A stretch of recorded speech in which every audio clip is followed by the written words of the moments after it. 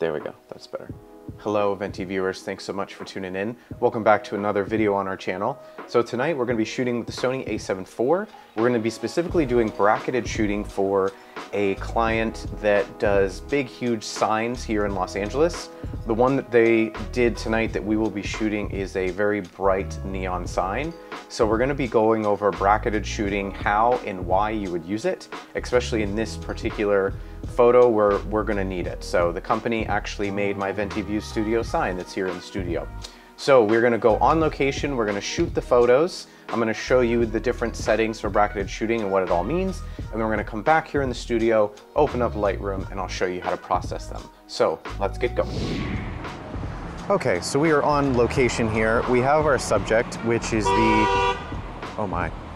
We have our subject here, which is the employees only sign. So that's what the sign company did. Now, we have a couple options here. So if you notice here, if we expose for just the sign, then the rest of the image is kind of dark. You could edit this and bring up the shadows in the raw file later, but I don't know, I don't wanna risk it. So let's get our focus right here on the employees only. So I'm gonna adjust the image to be a good base image. And then what I'm gonna do is I'm gonna go over here and I'm gonna go down here to continuous bracketed. Now, continuous bracketed will take the photos for me. It'll count down from five and just immediately take however many photos I want it to. So as you can see, we have a lot of options here.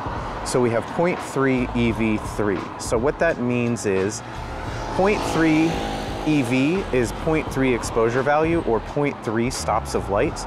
And then the number three is number of images that it will take. So it'll take a base image and then it'll take one image at 0.3 stops of light brighter and one image at 0.3 stops of light darker. So I need a little bit more dynamic range than that. So as you can see, we have half a stop of light times five, times nine, 0.7. So I'm gonna go all the way up here to one stop of light with an exposure value of five. So that means it's going to take five images at one full stop of light difference. And you can see that with this graph down here. So it's gonna take one base image, and then it's gonna take one full brighter, two full brighter, one full darker, and two stops of full light darker. So let's talk about how we have this shot lined up. So I have my grid on the camera here, and I put the employees only sign right on the um, intersection here because that's where the human eye is going to be drawn. I might actually even zoom it in just a little bit more, maybe to crop out the stop sign right there. All right, we are in the blue hour. I'm going to hit the camera button and what it's going to do is it's going to count down from five and it's going to take our five images. So let's do that right now. And there's the countdown. There we go. So now we have our five images. So if we play that back, there's one, two, three, four, five different stops of light.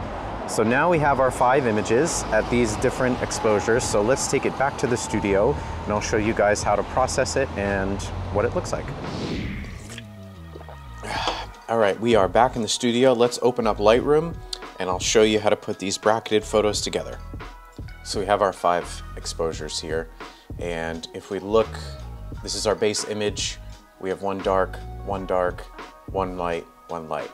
So we're gonna select all of these, hold down shift, and we're gonna hit control H.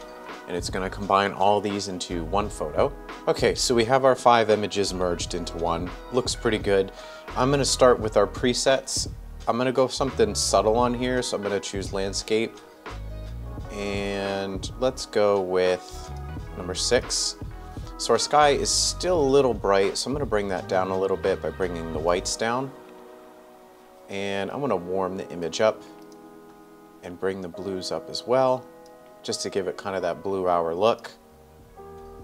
Bring up some texture and clarity. And one of my favorite features of Lightroom is it can automatically adjust the angling of the buildings in case anything is off. So this is what we started with, right?